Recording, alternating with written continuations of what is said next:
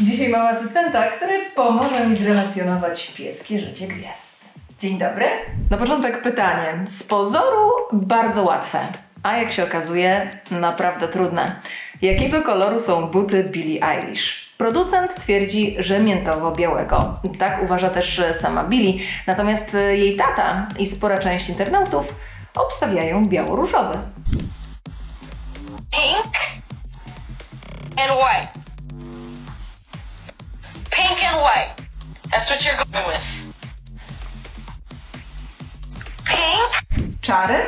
A może UFO?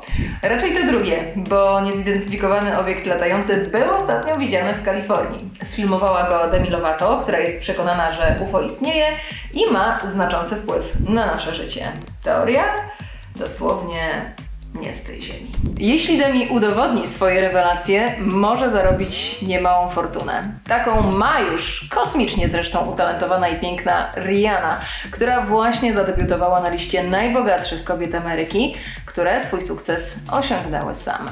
W Ameryce? Tam to jest dopiero bandytyzm.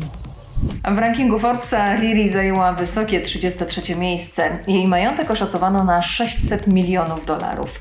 E, Szybko powiększającą się fortunę Barbadoska zawdzięcza dwóm własnym markom kosmetycznej i odzieżowej. 100, 200, 300.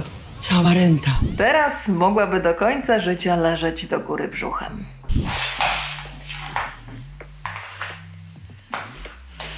Sytuacja finansowa niewątpliwie poprawiła się także Meghan Markle, kiedy została żoną księcia Harego.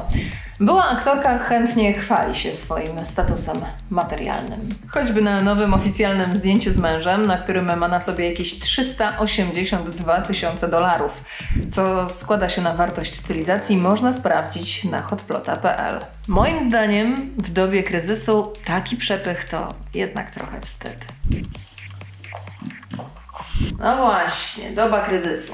Ale są i dobre wiadomości. Mimo ciężkich czasów Tom Felton nie zamierza rezygnować ze świętowania 19. rocznicy premiery pierwszego z filmów o Harry Potterze. Oczywiście tym razem online. Do celebrowania tej wyjątkowej okazji filmowy Draco Malfoy zamierza zaprosić kolegów z planu. Może wymyślą jakieś zaklęcie na koronawirusa?